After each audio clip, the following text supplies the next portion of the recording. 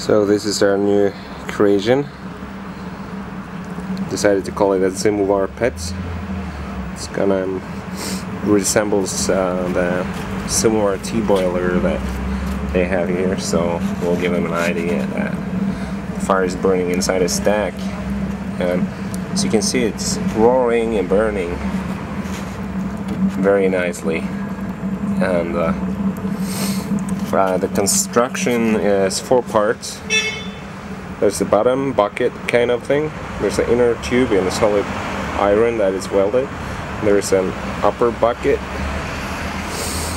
And there's gonna be an insulator around um, the heat riser.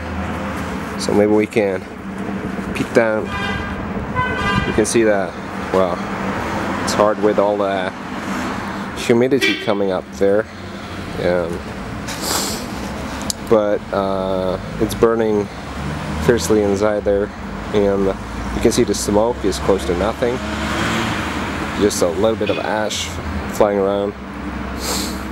And uh, yeah I think it's gonna work. Tomorrow we're gonna put the lid on and hopefully in the evening we can burn inside our house We'll see how it heats up.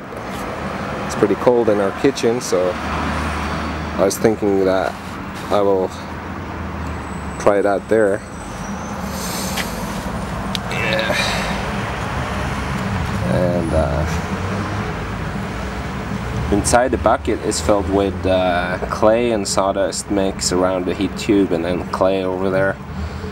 And so a cob kind of mix and that makes it heavy and stable and it also makes it retain some of the heat. Um, I guess it weigh it will weigh around 50 kilos when it's done so it's portable but it's not uh, easy to move around. That's okay. They're only gonna move it once a year. So I also hope that I can uh, because of that the gas is, has cooled down down the barrel. I hope that I can get away with using a 4 inch tube as well which is the standard but I don't know yet. So there's still some experiments to be done but so far so good. I think the costs of this will be around 50 manat and that maybe to sell it with some profit for around 100 manat. So in one winter it will be paid back more than once.